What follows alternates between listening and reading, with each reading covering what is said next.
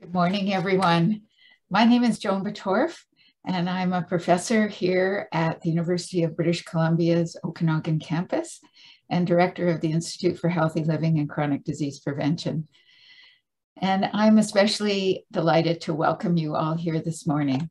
But before we begin, uh, I'd like to respectfully acknowledge, oops, hang on, sorry, sorry.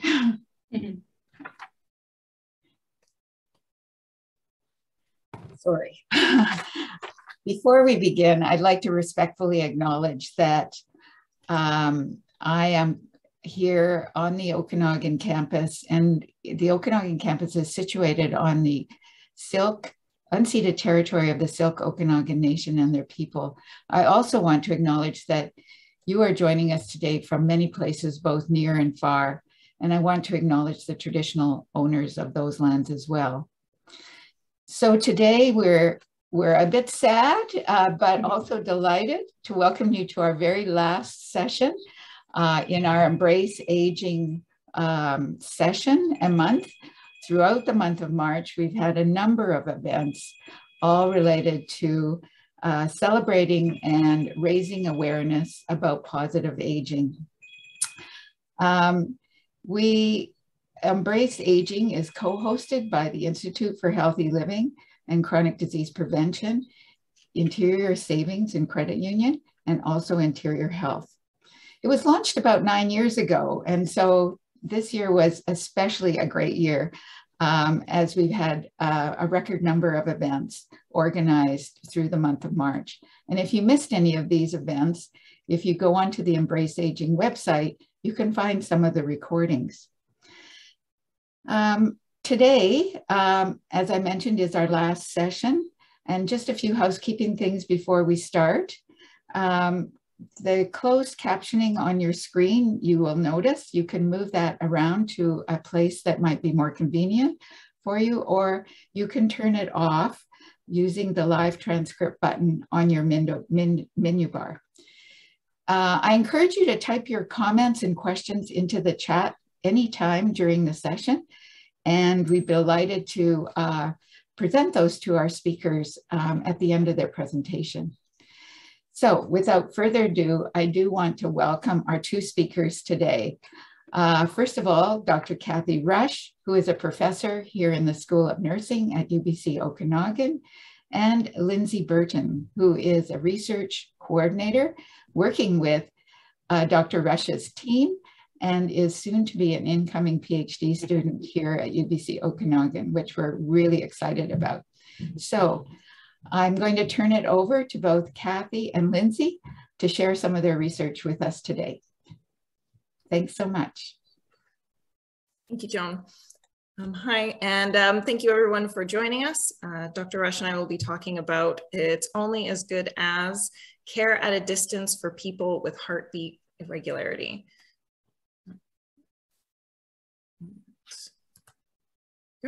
So we also acknowledge and are situated in the Syilx people and unceded traditional territory. Uh, we want to acknowledge the funding for this project and this presentation uh, comes from the Canadian Institutes for Health Research and our additional team members, Dr. Jason Andrade, Dr. Peter Loewen, and Dr. Ryan Wilson. We are supported by the University of British Columbia and have also partnered with Vancouver Coastal Health. So uh, we work in the area of uh, heartbeat irregularity, irregularity, particularly atrial fibrillation, with a focus on care at a distance and an interest in rural health. And since the expansion of telehealth during the COVID-19 pandemic, this has really radically changed how our interactions are with healthcare professionals. So what we're looking to explore during today's presentation is what is care at a distance? What does it mean for patients with heartbeat irregularities receiving specialist care? So as we try to answer this question, we wanna know a little bit about our audience so we can gear some of our conversations specifically to you. So, go. The first question is, you, do you have or do you know somebody with a heartbeat irregularity, such as atrial fibrillation? So we should have a poll up on the screen that you can answer, and then we can see.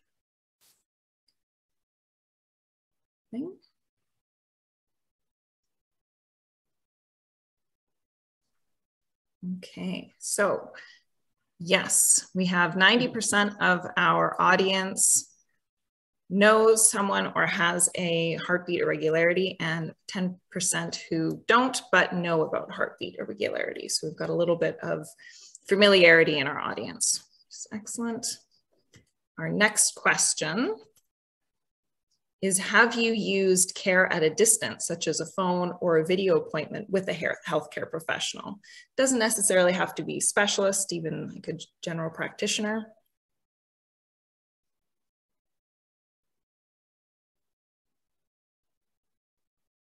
That's right.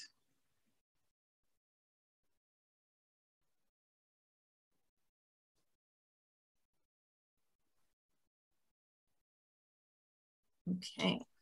So 91% yes, they have used uh, care at a distance and 9% have not. Excellent. Next question. Uh, we want to get to know kind of the age groups that we're, we're looking at. We've, we have, um, so under 65, 65 to 74, or 75 and older.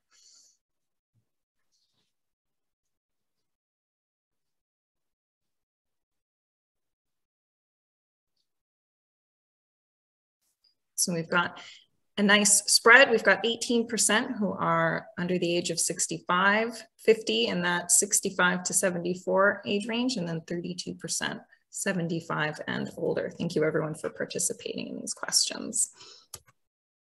And our last question is whether or not you live in an urban or a rural community.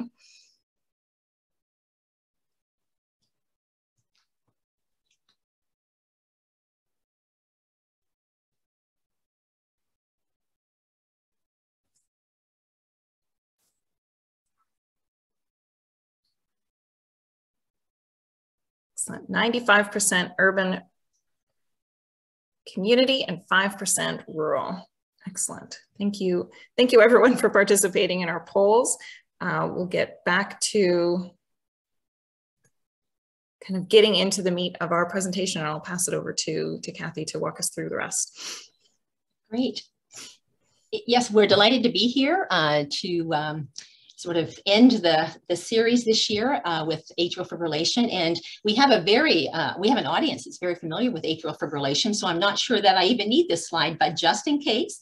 Um, so what is it uh, for those of you who perhaps are less familiar with it? Um, in a normal heart, um, we know that it is a, we do know that it is a um, electrical disturbance of the heart um, and uh, an abnormal heartbeat. And in normal sinus rhythm, we generally have our electric signals starting in one place in the heart. So in the upper chamber, in what is called the pacemaker, uh, we have these electrical signals and they travel down to the lower chambers and they produce this sort of very nice regular heartbeat. Beat.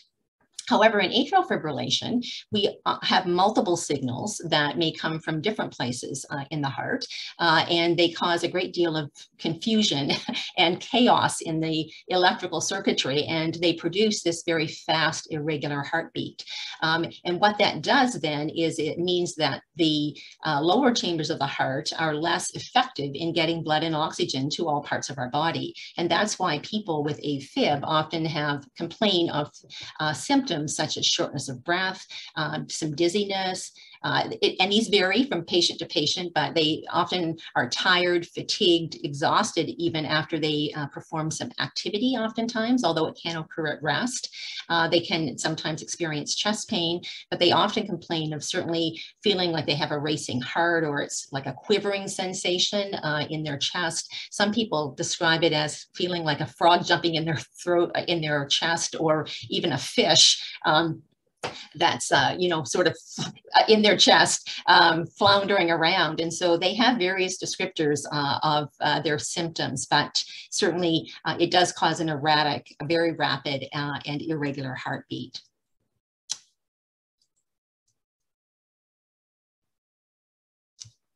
and I should have probably mentioned too that not everybody is symptomatic. So people with AFib don't necessarily have any of these symptoms and they're not even aware that they have it, which is one of the, the you know, the concerns is that you may have it, but not realize it uh, because you are asymptomatic. But, um, and there are risks associated with atrial fibrillation. Um, certainly as we get older, um, age is a risk factor. We are, uh, the prevalence of atrial fibrillation uh, goes up as we age. And so, especially 65 years and older. And so, people in um, and I see some other comments about other symptoms that people are experiencing there too, nausea and other symptoms as well. Thank you.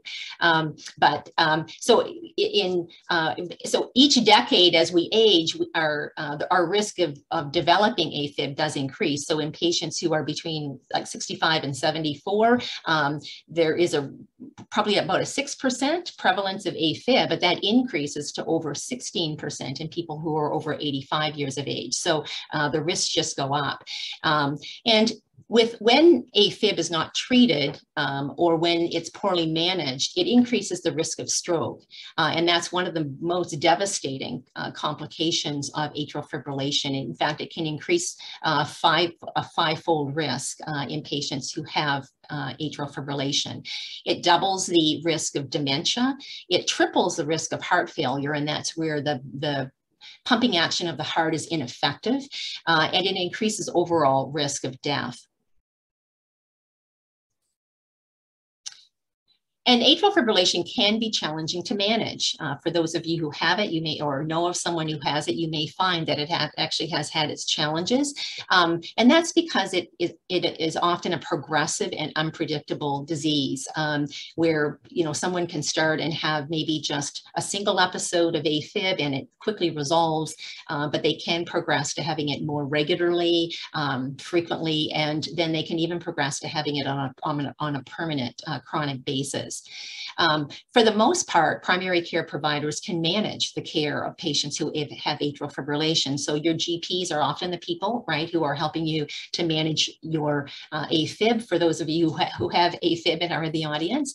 Uh, but specialist care is often needed uh, during the disease's progression, um, just simply because um, as it progresses perhaps, or um, certainly there may be um, a treat, like you may have certain treatment, but then you have a relapse, you're moving from sinus rhythm back into atrial fibrillation, you may need to have specialist care at some point during your journey um, in life with AFib. And so specialty AF clinics really have evolved to meet the needs um, uh, for specialty care. And they've been particularly helpful for meeting uh, needs um, for people who, you know, in accessing that specialist care. They are typically comprised of a team of people, uh, electrophysiologists who uh, specialize in the electrical circuitry of the heart and cardiologists, um, nurse practitioners, nurses, pharmacists, so a whole team of people. And they have been shown to be very effective in reducing healthcare utilization. So uh, patients who um, have care through these specialty clinics have been shown to have decreased utilization of hospital, you know, hospitals or uh, hospitalizations. They may have fewer emergency department visits and over, and of course, in, in decreasing the utilization of healthcare services, it also decreases healthcare costs. But at the same time, it actually has been shown, the, these clinics have been shown to improve health behaviors, lifestyle behaviors, uh, as well as quality of life for patients with AFib. So there are a lot of really benefit, there are a lot of benefits to specialty care uh, for sure. Now we know that, um, uh, or pre-COVID, um, most AFib specialist care was only available really in urban centers and required uh, in-person visits, which meant that people, especially um, from rural and distant communities, had to travel quite some um, distance. But we know that COVID has changed all of that, and now remote care or care at a, at a distance is commonplace. But there has been very limited research looking at the use of virtual AFib care delivery. And mostly what has been done um, has focused really on the patient's ability to use the technology and their overall satisfaction. But what has been largely missing from the research has been the patient experience. So what do patients say about uh, their visits um, with the specialist clinic? And of course, this is important. It's important to learn about patient experiences because um, as virtual care is likely to continue into the future, future. Uh, we want to we want to be able to support patients with the best possible model of specialist care, and so uh, learning more about their experiences is very valuable towards that end. Okay, so what we what we have done in order to explore this is we partnered with a specialist atrial fibrillation clinic in one of these urban centers in order to distribute some surveys and host some focus groups in order to gain a little bit more in-depth information about the patient experience. So we, we did a combination of surveys, also looking not only at the experiences, but like Kathy mentioned before, the previous research, you know, um, capability of using the technology and satisfaction with the technology, as well as then hosting focus groups to contextualize and deepen our understanding of that, specifically the experience of receiving specialized atrial fibrillation care at a distance.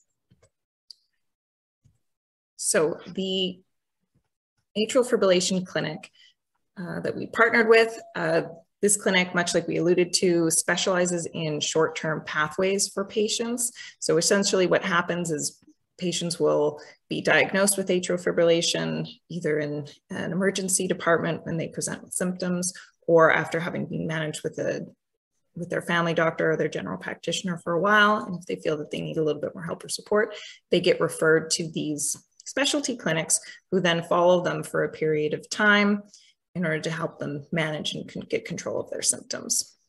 So and the clinic that we partnered with is a multidisciplinary team. They have a nurse practitioner, a pharmacist, a registered nurse, cardiologist, and electrophysiologists on their team.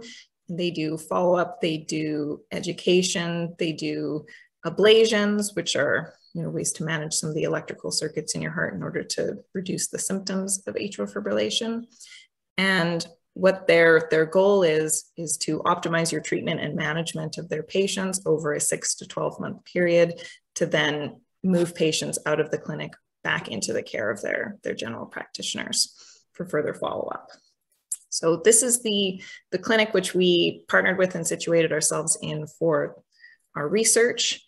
So, so what we did was we had all of the patients with incoming appointments were sent a notice of research from our team uh, where they were said, we've got the study that you might be interested in participating in. It's looking at your experience of atrial fibrillation with receiving care at a distance, and you might be contacted by the research team to invite you to participate. So all of the patients received this notice and were contacted by a research team member over the phone, inviting them to participate. And Patients were then directed to an online consent form and an online survey in order to get into our study. And any participants that you know, had trouble with using an online survey were given support and we did a few over the telephone with people as well. And then after the surveys were collected, we then invited a subgroup of participants to, to take place in a series of focus groups that we held. So the survey consisted of demographic information and health history, you know, when you were diagnosed with atrial fibrillation, your quality of life, how, your, how you would rate your general health, how you would rate your general mental health, um, how much you use the healthcare system, you know, if you've had any recent hospitalizations or trips to the emergency department, measured self-efficacy, your belief in whether or not you can do something. We looked at your general self-efficacy, your self-efficacy around the use of computers, the use of virtual care technologies or healthcare technologies. We also looked at stress, which can have an impact on your symptom experience of atrial fibrillation. We looked at lifestyle measurements, which again have some um, implications for, for your experience with atrial fibrillation. The satisfaction with the virtual care or care at a distance experience, and then also the your knowledge or participants' knowledge of atrial fibrillation. And then our focus groups, they were held over Zoom. We did all of our, since all of this was happening during the COVID-19 pandemic, we held all of our focus groups over Zoom and everyone was invited to interact and discuss with other patients specifically around the experience that they had with virtual care or receiving care at a distance, their perceived quality of virtual care, and what technology supports and, and other uses they, they would hope to see in the future, recommendations. So we took all of that information. We are still in the process of analyzing a lot of these data. This is an ongoing project. So most of the survey results that will be sharing with you today are preliminary work, and then the, the focus group data is really going to be the majority of what we focus on today, where we did an in-depth thematic analysis and tried to tease out a lot of these experiences of our, of our participants. So give you an overview. We have sort of our two distinct groups, our overall, everyone who participated in our survey, and then all of our participants of the focus group. So in all, we had 189 participants fill out our survey from the clinic. They were um, on average 65 years of age. The majority of them were married. They were mostly Caucasian and they tended to be college or college, college, some college education or college graduates. They tend to be a little bit higher education, um, Caucasian, married, and around 65 years of age. And our female population was a little bit older and we tended to, we had a lot more men in our sample than, than women, which is not uncommon for, for atrial fibrillation. Then for our focus group participants, we had 30 of those uh, 189 survey participants take place in our focus groups. So they were similar to our survey participants in that they're around 66 years of age, still mostly married, uh, mostly Caucasian and college, college graduates and uh, college educated. And still we had uh, more men than women in our focus groups as well, not unexpected for this, for this topic. So what we were looking at generally, and this is our focus group participants, is what kind of appointment were they having when they came into the clinic? And the majority of appointment types were we classified as other because we're still working on refining our categories. And this is inclusive of people who have just had a cardioversion where they kind of re jumpstart your heart to get it back on a, its regular rhythm or just follow up because they've already been seen at the clinic or even education only. So we're working on refining that category a little bit more. We had around 30% of our participants who were new consults. So this means that they were newly diagnosed with atrial fibrillation recently and have, had never been seen in the clinic previously. So most of these participants, because of the timing of our study, had never been seen in the clinic in person. So this plays into a little bit of their experiences that we look a little bit closer into in our focus group data. And then our next type was ablation. So these are patients who are coming in for a surgical procedure, um, which is a little bit more involved and one of the electrophysiologists takes care of. And beyond the appointment type, what we're particularly interested is how were people having these appointments? Um, the uh, this clinic is set up and has the capability of doing video appointments and telephone appointments with their patients. And so we saw about 90% of our participants used phone as their modality for the care at a distance appointments that they were having with their either the RN, the pharmacist, the NP, or their cardiologists, and only a, a slight few had video appointments. And overall, um, I've got a couple of graphs here that are looking at the differences between these age groups that we had you fill out at the beginning of the presentation. And we've got the average here on the red line of all of our survey participants. So our focus group participants and our survey participants were all in line with their satisfaction with their virtual care, their satisfaction with their communication virtually, their computer self-efficacy and their health technology self-efficacy. And of particular interest to us, there were no differences between the age groups. Um, some of the, the research has been done previously, you know, there's concerns with people who in older age categories being um, having challenges with doing virtual care because of the technology. And we didn't, we haven't found anything that, that really shows any difference in people who are under 65 years old and even the 75 and older groups with respect to their satisfaction with care at a distance or their belief in their abilities to engage with computers or healthcare technology. That summary, I'll pass it back over to, to Dr. Rush to talk a little bit more in depth on the focus groups. Great.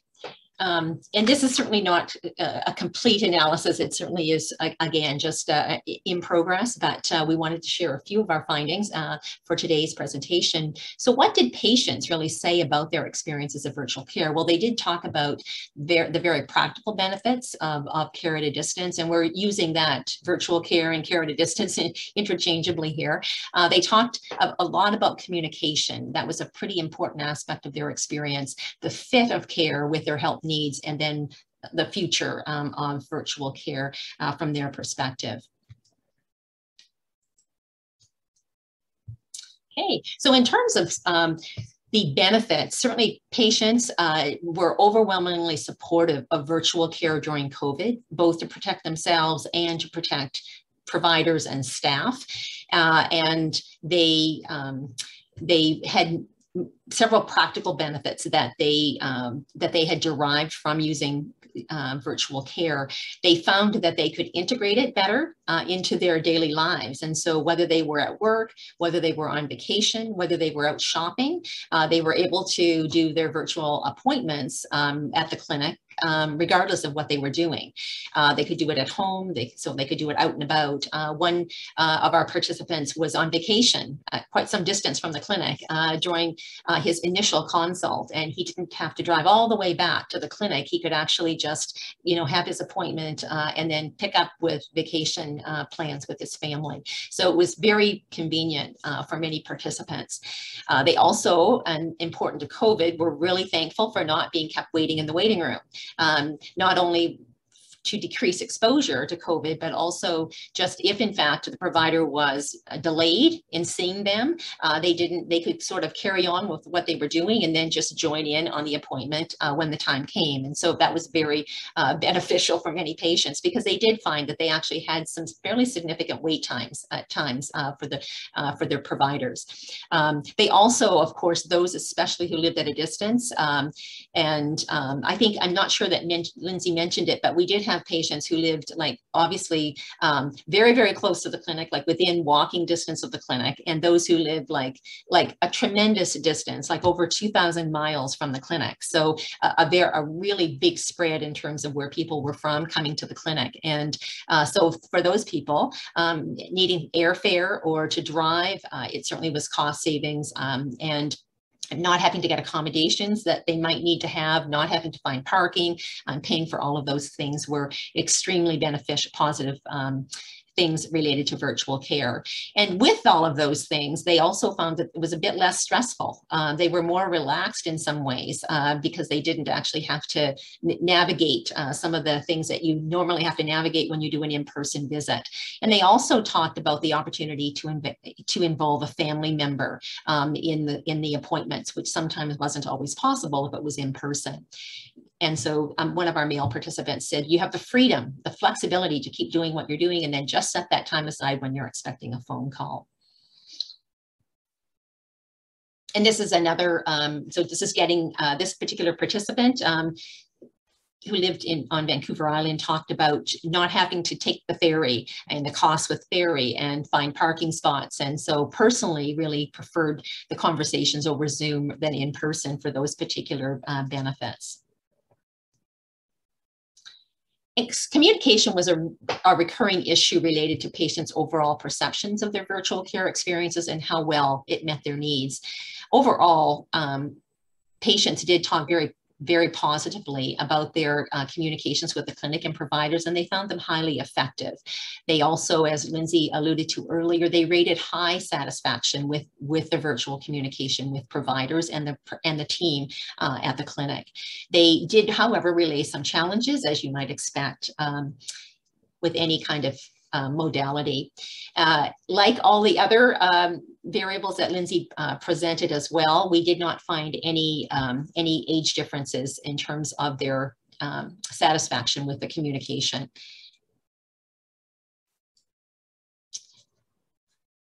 So when patients talked about communication, they really boiled it down to kind of the set, the patient as the sender, the provider as the receiver.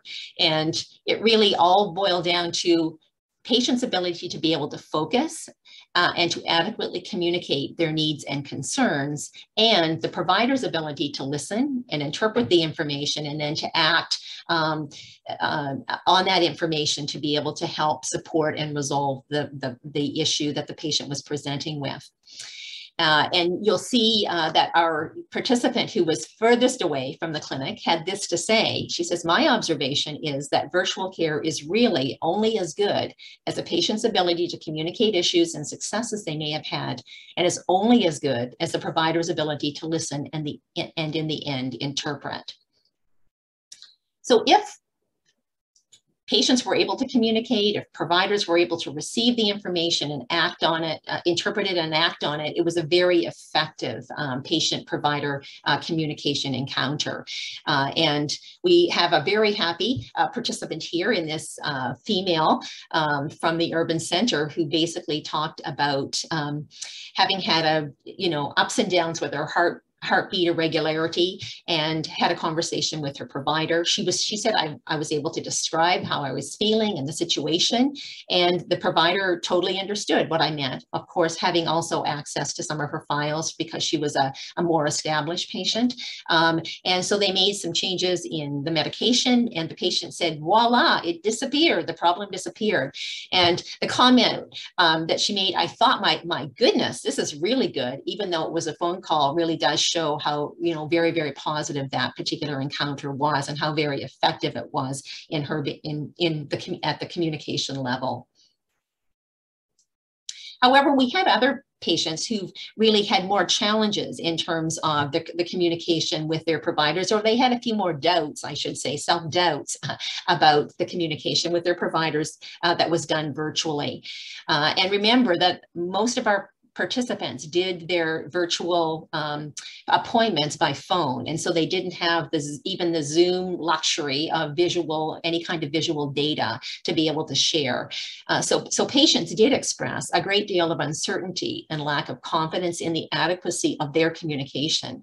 They, uh, they really, really expressed a lot of a sense of burden of having to really um, be up to being able to provide all of that necessary, all of that information to their provider in order to be able to have their provider um, help them uh, with the problem. So they had questions about really, am I, am I uh, communicating what's necessary? Am I even communicating correct information? Is it complete or have I forgotten some details? Uh, are my descriptions really enough?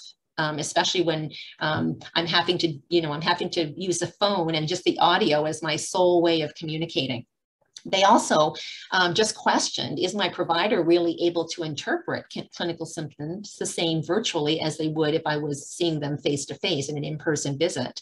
Will they come to the same conclusion without seeing me, taking my pulse or using a Holter monitor to gather um, a rhythm strip of my heart? Um, and so one participant, uh, female participant says she was really nervous initially. She, you know, without being seen, having her blood pressure taken or having anybody listen with a stethoscope to her heart and any of that kind of physical stuff, she said, because I was having to describe my symptoms. And she says, I wasn't sure I was covering everything and if anything was being missed. So like I say, there was a, quite a bit of um, uncertainty um, and self-doubt with patients uh, in terms of the communication uh, done virtually.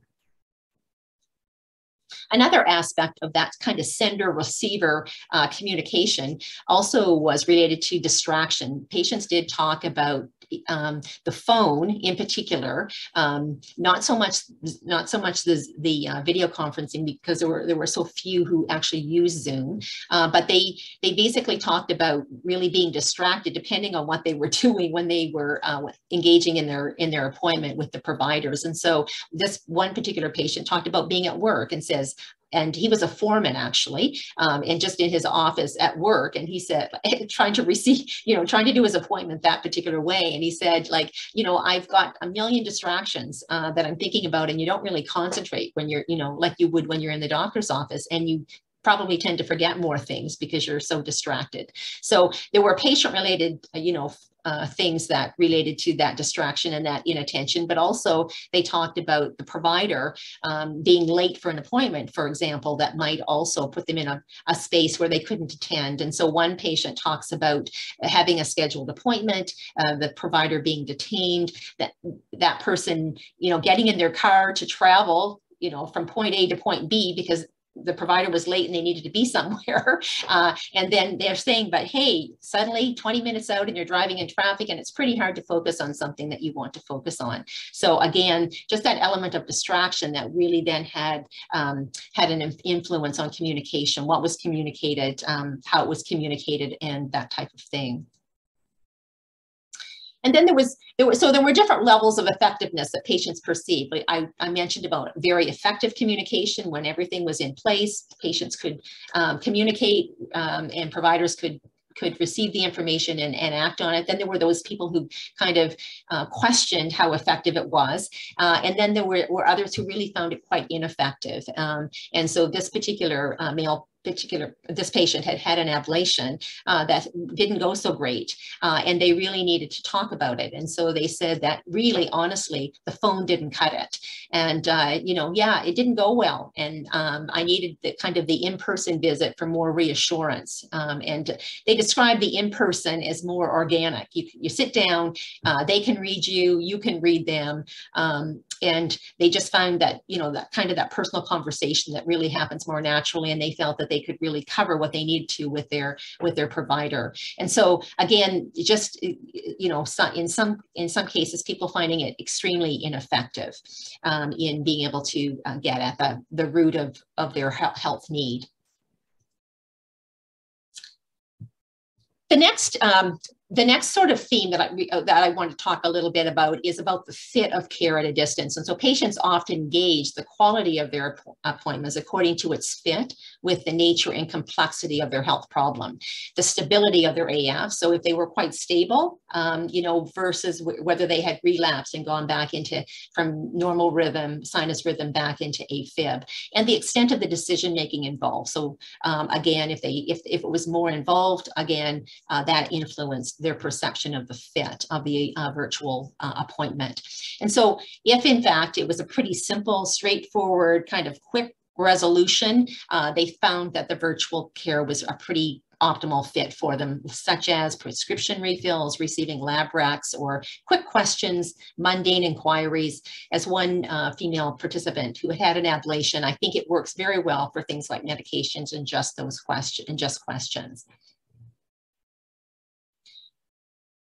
But it wasn't seen to be really optimal when patients really had more complex things going on or when they were in kind of this unstable place with their AFib or whether when they were making sort of some really serious decisions.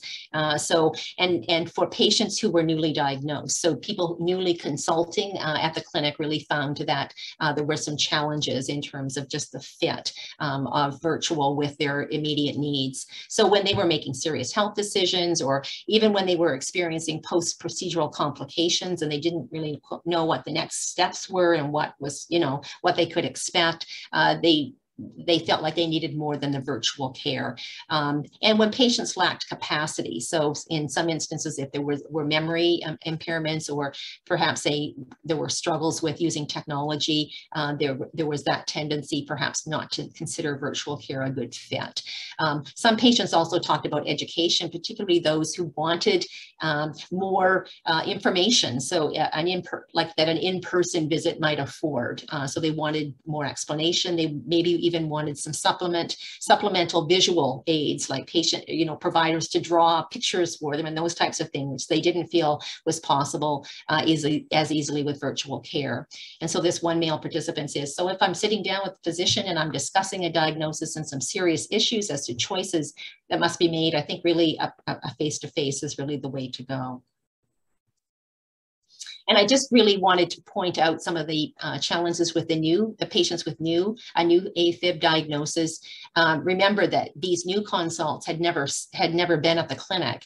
And so they really, um, they really didn't really have any kind of um, context for the for the physical space, right, within which the clinic was housed. And so uh, one participant described it as a big black box. And so they didn't have that. They also didn't have, they lacked that established connection with the clinic team. And though many of them spoke very, very highly of some of their appointments with the whole team, um, they still didn't sort of have that sort of same comfort level that others would have had who had been seen over a period of time with the, the clinic uh, staff. And therefore, because they didn't have that establish uh, connection, they also felt that there were, they lacked some, there was just gaps in trust, uh, especially when uh, participant said the people that you're putting your your life in their hands right? You want to be able to trust them and um, um, and they didn't really know them that well uh, to feel that they had that level of trust. They also talked about just not not and and lacking some compassion, compassion, a degree of compassion um, that they felt would better be served with in-person care. And they needed a lot of validation and reassurance with their new diagnosis as they faced this new diagnosis and the sort of the what their what the expectations in terms of uh, treatment um, options would be. Um, they also had some gaps in knowledge needs relate, related to the treatment pathways uh, and options. So um, that's so the, the newly diagnosed patients, I think, had a few more challenges than some of the ones who had been seen um, over a period of time pre-COVID yeah, and this is one one male particip participant uh, kind of alludes to the last point about wanting to know what the paths are to get me through it, um, and didn't have that sense, but felt they needed to to create it themselves. So, um, and that may not just be a virtual thing, but uh, you know, certainly we're talking here about virtual care and their experiences with virtual care. The final um, the final uh, really theme that we wanted to just mention today was the future uh, and how um, patients really responded to virtual care in terms of their even their um, whether they would want to have virtual care in the future, and many of them did. Uh, they wanted continued continued use. Of course, look considering fit um, would be very important, nevertheless. But they did uh, have some concerns, and a couple, just a couple of concerns that I'll mention, just in terms of providers taking on more patients and maybe being less available, and also just the concern about virtual care becoming usual care rather than in-person care, uh, because most of their, uh, of course, most of their care at that time was um, virtually done. But they did have some suggestions. And of course, as you might expect, um, uh, they did suggest a hybrid model, so a combination of both virtual and in person. They also talked a lot about integrating some of the data that they were collecting, because many of them actually were collecting all of their own data. Uh, they had Apple Watches, and so they were collecting, you know, certain information. Uh, they had other kinds of um, technologies as well. And so they wanted to be able to integrate um, and have that integrated into their virtual care, particularly because they were so dependent on the phone uh, and without providers really seeing them, um, uh, they, they really felt like that would really actually help to supplement much of what uh, of the care that they were receiving. Uh, so those were just those are just a few of the uh, the suggestions that they had. So Lindsay, do you want to just finish off there or? Yes, sure. So um, all of that brings us back to so what does care at a distance what is care at a distance and what does it mean for patients with heartbeat irregularities such as atrial fibrillation receiving specialty care? And we've come to the conclusion that it is as our title suggests it's only as good as one, your ability to effectively communicate your needs, wants to your physician, and your physician's ability to then interpret that information that you're providing, and the fitness of your particular health needs. As we've been reflecting on this, um, you know, there's there are tons of benefits to receiving care at a distance that we mentioned, um, convenience, travel, cost, et cetera, and, and not just for our road remote and rural communities, but people living in these large urban centers, it, it can be quite a hassle getting to some of these centers with parking and traffic and time, time off work, trying to navigate, you know, childcare or, or any of those multitudes of things that, that goes into getting to healthcare appointments. But if the fit doesn't outweigh the benefits, that's really what we came down to is that the benefits don't necessarily outweigh the, the appropriate modality. Um, and patients alluded to, we, I'd rather travel than save the convenience of telephone when getting a serious diagnosis or, or needing to have one of these more in-depth conversations and having the comfort and, and trust with their provider team. So um, we as we reflect on this, we, we wanted to pose the question back to, to our audience as well, but whether or not, you know, some of the things that we've discussed today, you, you feel reflected in your own experiences and, and what you would like to see, what you would like to see is the future of care at a distance.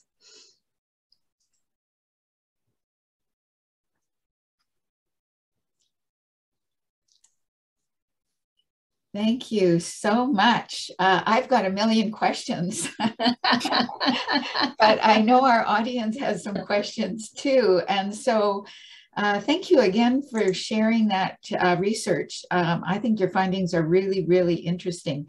So we already have some questions and comments in the chat box. So um, I think I'll try to start at the top and uh, work down. Um, just to let um, people who've joined us know you might not be able to see them all because uh, some of the questions uh, were sent directly to the panelists.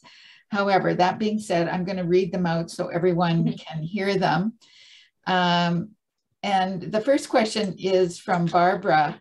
If the atria is irregular, why is my ventricular beating so fast? Is the pulse rate the beat of the ventricle?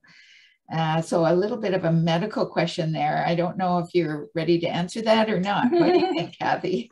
Well, I, am not exactly sure. Yes, uh, it there could there could be possibly like mixed arrhythmias too, but uh, really the the um, the pulse is really both it's there's a lub dub right there's a lub dub that happens right and so it's really both the both uh, the upper and the lower chambers uh, that are really needing to work to, um, you know, deliver the electrical um, uh, stimuli, but also they're working mechanically to deliver the oxygen, oxygen to where it needs to go. Uh, so I don't know the, uh, the question was, why is my ventricle um, beating fast? Uh, yeah, um, I think that um, it probably is a it may be a compensatory you know it may be that the, the heart is having to compensate um, also for um, you know not being able to not getting sort of the necessary um, electrical circuitry uh, in the way it's supposed to. And so they may it may just be a way uh,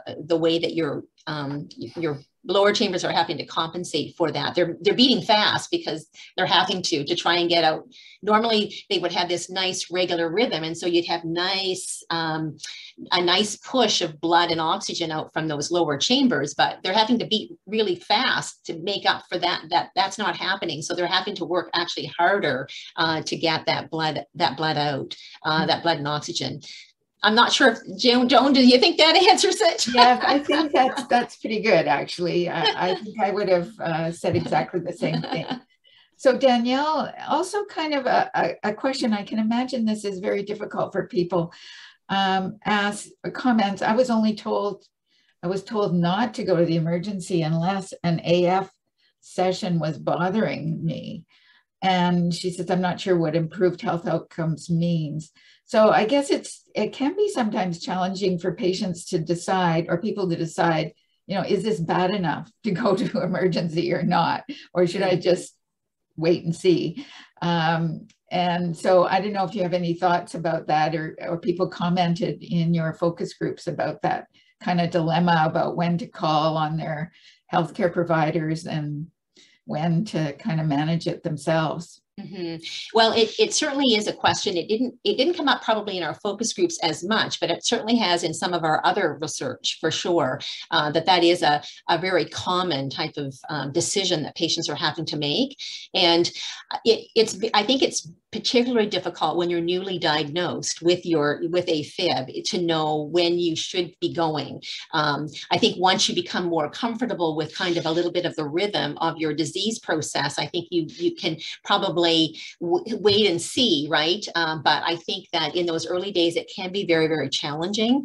Um, I do think that a lot of it really depends on the severity. Like if it's certainly like we uh, because in the early stages, your the AFib should should likely go away a bit, right? Uh, it should it should sort of go it, you may have it and it probably will resolve fairly quickly. So if it doesn't resolve, if you're if you're still experiencing sort of that really rapid heart rate, um, it's better for you actually to go to the ED if you're, you know, um, because it can be very debilitating. And so I even think I know I work a lot in rural communities. And so the and the GPs there will tell their patients that they really should go because it's better for them actually to be seen and treated because you don't want that race racing heart, racing heart, that's not good um, for your heart over the long term. And so I think it really, a lot of it really does depend on if you are, you know, if you're really, um, um, if you've kind of put up with it, you put up with it for you know as long as you can. Um, but it really, if it doesn't resolve within a really reasonable period of time, um, I would say go to the ED. Um, I know that you are there. They do discourage. Um, they oftentimes discourage patients from going there. Um, but I think if you're in doubt um, and you're particularly, um, yeah, you're, you're just uncertain. I, I think I would head off to the ED. Yeah. Yeah. That's great. This next question is kind of one that I'm interested in as well, because one of the comments or one of your main themes is that um, you know, the patient's ability to communicate is such a critical factor in this virtual virtual healthcare. Mm-hmm. So it puts a lot of um, pressure on patients to be able to figure out what they should communicate and in what detail. And so this question about is the use of KardiaMobile devices recommended? And is this assistance available uh, for use? Via the AFib clinic or elsewhere. And so it kind of relates to this issue of are there ways that technology might assist patients in communicating their needs? I don't know if you have thoughts about that, Lindsay or, mm-hmm. or Kathy, is, is how we can put, how we can help patients out with communicating their needs. Lindsay, did you want to talk to that or I, what? Sure. Yeah, I know. Like there was definitely one of the suggestions that our participants had was being able to to incorporate a lot more of that kind of biometric data because i mean even a lot of these smartwatches nowadays yeah. collect a lot of information that that patients want to be able to share with their physicians and i think you know um, it's kind of getting over that hump in order to making it usual practice and and how we can support physicians in using that information, supporting patients mm-hmm. as well. A lot of our participants had at home blood pressure machines that they regularly checked and kind of self monitoring as part of that. And in previous work that we've done, even a lot of patients self monitored their, you know, a lot of patients go on warfarin, a blood thinner, and you have to check your levels to make sure that you're you're in the right zone. And a lot of patients did a lot of their own self-monitoring and that was really helpful for them. It gives you you know control and and a lot of confidence because it helps you get to know your symptom experience and and that as you go through afib and one of the things we've been discussing as well is that these are all great but making sure it's available to patients because there's there's a cost barrier and a lot of people taking right. advantage of these technologies. Yeah or it could be very simple. I mean if patients are keeping a little notebook record yeah. of their blood pressure or that they could actually just take a picture of it and email mm-hmm. it to their doctors yes. right yeah. so i mean there's some very simple strategies that that could be incorporated mm-hmm. um, uh, but i grant i agree with you it um, it d- would take some willingness on the and and effort maybe on the part of healthcare providers to facilitate that as well um, I think that oh. increase. I think increasingly, Joan, there are efforts like the um, there are different some platforms that people are um, you know adopting, like patient portals and those, those types mm. of things, where patients can actually you know they can actually send that those securely through to the to the provider. That hasn't come to the clinic at this point in time. Um, and so that but so again it isn't then up to the patient then to kind of keep those records and be able to like you said ready to share them with their with their uh, physician. But i think having those patterns and trends is really really important uh, for providers to actually help patients um, right. rather than sort of a single reading right? It's it's it's yeah. nice to keep a record of things. Yeah. Yeah. So i guess the question is how can we motivate providers to take that step? Yeah yeah. Um, yeah. Maybe we all need to do some lobbying there. And yeah. yeah, it suggests that virtually or phone appointments are fine if you're reviewing meds, but not if you're addressing real concerns about the condition. So it mm-hmm. speaks to this um, need maybe for patients to have a choice that occasionally they might really want or need that in-person visit. Mm-hmm. And so maybe this is not an all or none kind of thing. Um, so there's that. I'm going to quickly go on because there's like a whole bunch of questions and comments here. Danielle says, virtual works, but would like to have access to a cardiologist or the clinic in person at regular interviews to monitor and reassure mm-hmm. just to see if things have changed. So it sort of speaks to this idea of having some choice mm-hmm. and occasionally having that availability of an in-person visit. Yes. Um, or even like even a zoom meeting like a zoom Yes. might work actually at least a zoom gives you a little bit more in terms of you can actually see the person they can see you and there's a certain amount of assessment even that a, a provider can do um, on a zoom call but a phone is really very limited in so it, it puts so much onus on the patient to have to um, you know be prepared to to give the information uh, to the provider and but the provider also needs to ask good questions uh, as well to make Right. sure to, to be able to get at the information that perhaps you know is missing uh, as patients talked about yes, Mhm. totally. There's a lot of responsibility here for the provider. It's not totally on the patient's No. shoulders. no no So we have a comment from Henry um, who says he had an ablation in February 2021. Had a couple of calls from the clinic since then, the AFib clinic. Um, but he's wondering, not sure if he's still a patient at the clinic. So are you likely to still be a patient if you've been treated once? Do you know?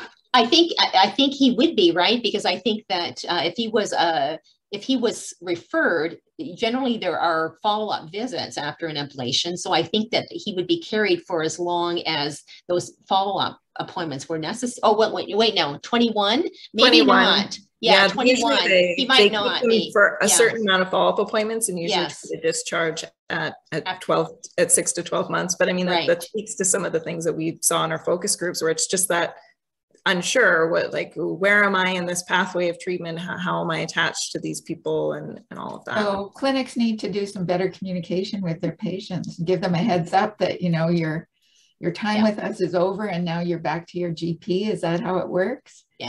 That's, I think that's really important. And, and actually, Henry, we didn't present. I, I had, we had slides in there to present on the follow-up communication, but there were gaps in that. Um, because that's what patients did find if they had a relapse, for example, or if they were expecting that maybe they had to be seen again, they hadn't received any communication. So they were a bit out of the loop, they said. And, um, and even trying to get through to the clinic sometimes was challenging um, uh, to, to kind of address those follow-up questions they had. So that was certainly that did come out of our findings as well. Um, so they do need, I think, a better um, a map, and I think that that was one of the patients did talk. I mean, I need kind of a, uh, you know, I need to kind of have it mapped out about what my options are and what, you know, when I'm going to be seen or when I need to be seen or when I'm going to be let go and who, you know, my GP, my, yeah. So I think that there is a lot that needs to be done to um, help patients um, along that traje- trajectory. Right. Yeah. Mhm. Uh, Agnes asks about the future of virtual care in BC really related to atrial fibrillation. And I guess it partly, you know, now that we're almost post-pandemic, maybe, well, we're at a different stage for sure. Um, will there be in-person follow-up available at the KGH atrial fib clinic going forward? So I guess just, again, wondering, do patients really have an option for in-person? Probably a year or so ago, maybe there wasn't much option for in-person, but I would think there's some option now. Yeah, and there there was some options during the whole uh, period. It just they were very infrequent, and, and any patients that were seen in person, we didn't include in our sample because um, we were looking specifically at virtual. But um, I don't see them not using virtual, but I know that they're they have been increasing the amount of in person visits that they've that they've been having even in the last Yeah. couple of years. Yeah. And I and I do think, Joan, that even uh, patients who really did feel that they needed to be seen, like I said, like I, I presented that one example of that one patient who just wasn't satisfied with the phone, and finally, you know, did um, a, an in-person visit did occur. And so I think if patients really, really felt like they needed to, that that would happen. So that they might not necessarily have the option at the beginning, but I do think that it, it could be uh, negotiated with the providers um, as as needed. Yeah. So there's kind of two related comments uh, next that um, one related to the issue of, you know, the the whether virtual care can really handle the complexity of various health issues, whether it's AFib or, or Mhm. other other health conditions, you know, where is the kind of limit? And on the other hand, Richard is saying, during the presentation, the term mundane was used with respect to questions. And so as a patient, he's saying, you know, from my perspective, there's no issues that are mundane. It's like yeah. they're all really important to uh, yeah. uh, to and and potentially life changing events. So it's it's like this whole gamut. Can virtual care really uh, address all of this um, in in a thorough way and a respectful way? I guess that whatever issues are brought up, um, that they're dealt with appropriately. Yeah. I, I agree. And, and Richard, you make we that was a that was a term we should have put it in quotes, but mundane was a was a a term that one of the participants used, right? And when they were referring to mundane, they were I think they were talking about the re prescription refills and some of those things that were kind of ordinary things. Um, and but you're quite right. I, everything needs to be taken seriously, and nothing really is mundane. But when they were you when when they were referring to that, that's what they were referring to to.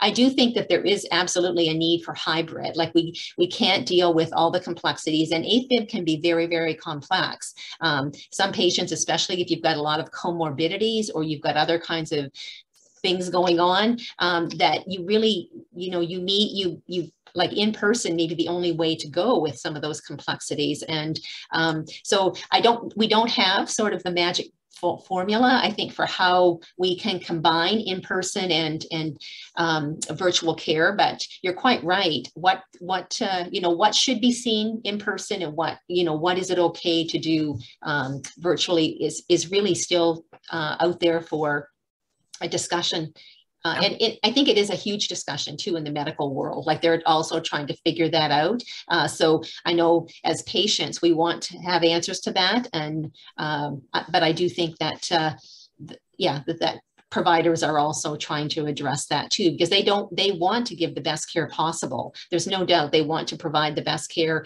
and not to have things missed because even they also um, are concerned about missing things uh, with virtual care. So uh, like i think both patients and providers are sort of on the same page with many of these things. That's great. That's great.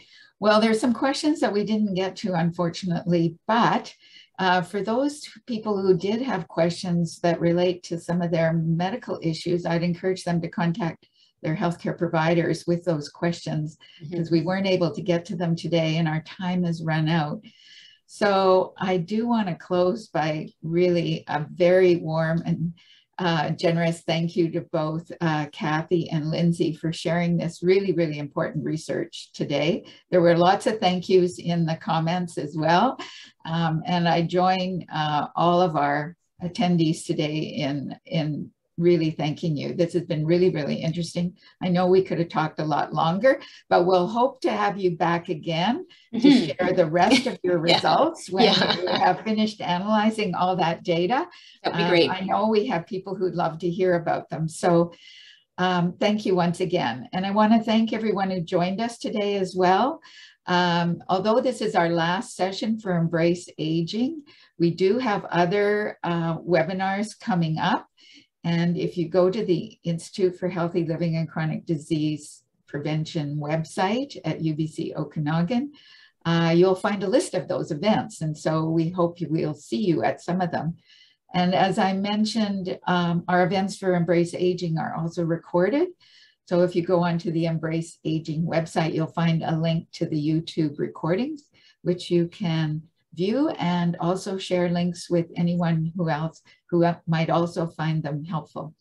So thank you. Have a great day. And we hope to see everyone again soon.